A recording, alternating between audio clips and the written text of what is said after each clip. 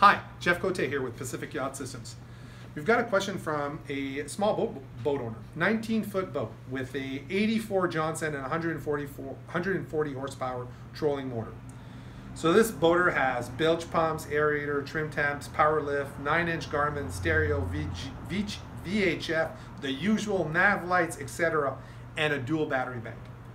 You know, that's the one thing about small boats. They'll pick, they'll definitely pack a punch, right? I see boat owners that have 20 foot boats, 25 foot boats that have as much gear as a 35 or even a 40 foot boat. And the question from this boat owner, Joe, is saying, should I actually have a battery monitor on that boat? Well, it really depends if you're running the engine all the time or not, right? You know, if you're actually running and you're trolling and you're actually trolling for extended periods of time, it's very possible that that alternator is actually not going to be outputting enough current to actually offset all the loads that you're running on that boat. So we've seen trends where actually over time the battery voltage keeps going lower, lower, lower, lower to the point where the battery dies and the engine is running.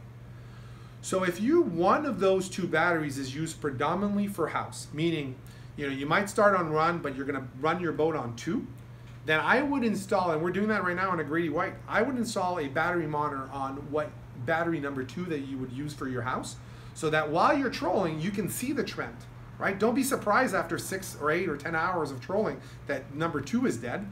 See the trend. And if you can't offset your loads, right, as you're running your engine, it's going to tell you, hey, you know, guys, we're going to be on board for another four or five hours, but at one point, we're either going to have to run to another fishing hole increase the alternator output by going faster, or we're gonna have to make a decision.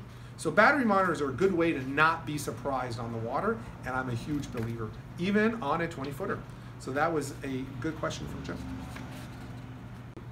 Thanks for watching this video. If you've got further questions that we didn't answer, please ask them below or go on our website and fill out one of the forms and we'll get a chance to do so. Support us to keep this channel ad-free by donating via PayPal or buying one of these lovely hats. The links are below. And lastly, if you haven't subscribed to our channel, please do so. That way you'll get the regular content. And in closing, thanks for watching.